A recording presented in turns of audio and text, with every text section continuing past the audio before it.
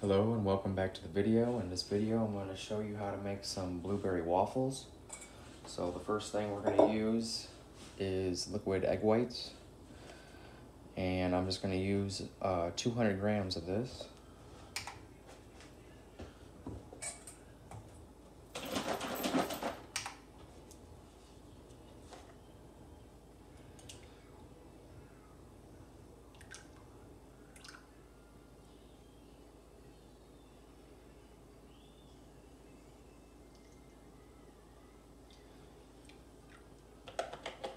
Go, about 200. Next thing up, I'm going to use coconut flour. Um, you can use white flour if you want to use white flour. I just like the coconut flour. Um, and I'm going to use 14 grams of this, just under 60 calories. It's about 56 calories. Uh, there's only 2 grams of fat in this, 5 grams of fiber in this, and 3 grams of protein.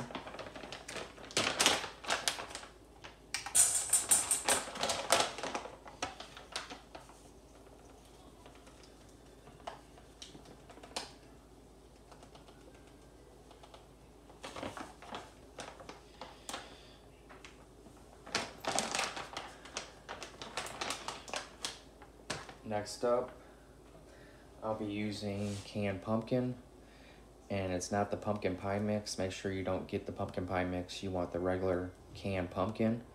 Um, one serving is only going to be 40 calories. It's 120 grams and that's what I'll be using in this.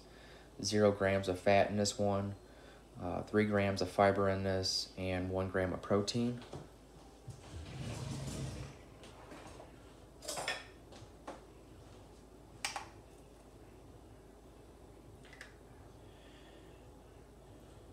Just one serving.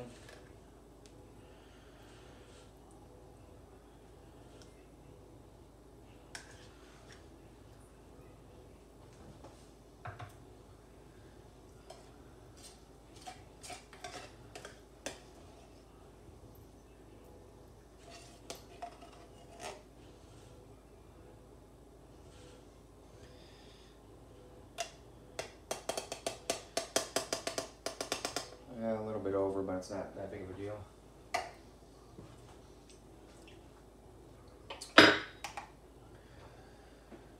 Next up, using baking soda, and you're just going to add four grams of the baking soda.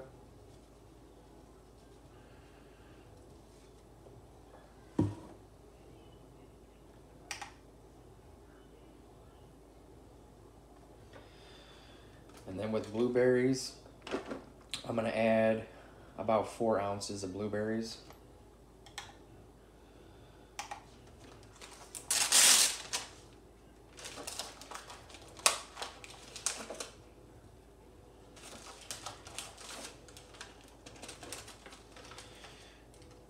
Or we'll see whatever I have left here.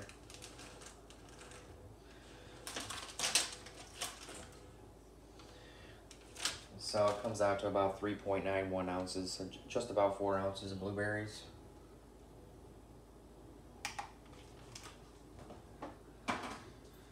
And last up, what I'll be using is Rule 1. I'm just going to be using a vanilla batter cake, butter cake.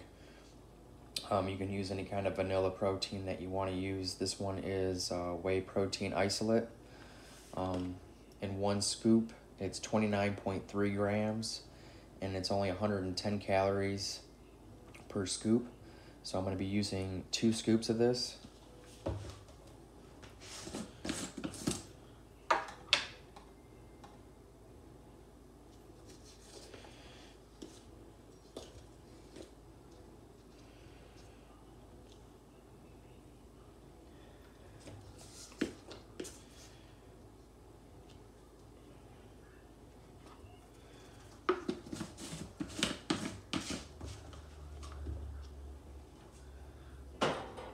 you're gonna do. That's all your ingredients. Get your whisk out and just whisk it all together.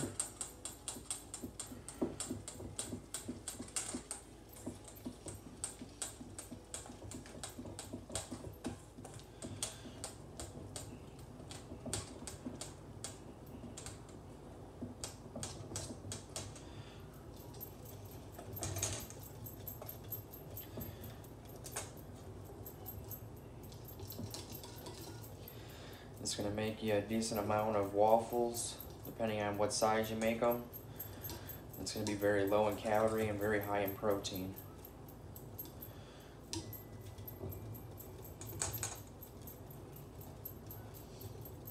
And really, you can make any type of waffles that you want to make, just depending on the flavor or protein mix that you want to do. And you can always add different types of fruit if you want to add different types of fruit. If you don't like the blueberries, don't add the blueberries. You don't have to.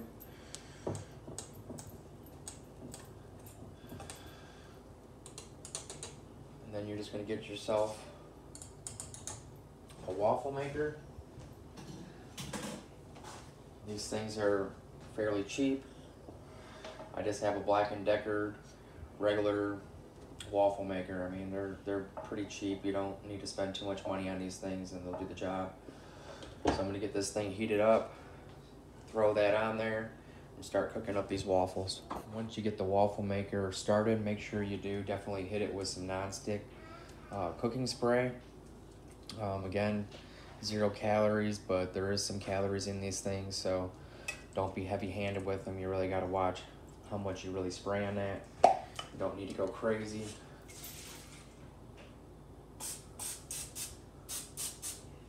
Just enough. Then you're going to pour your batter in.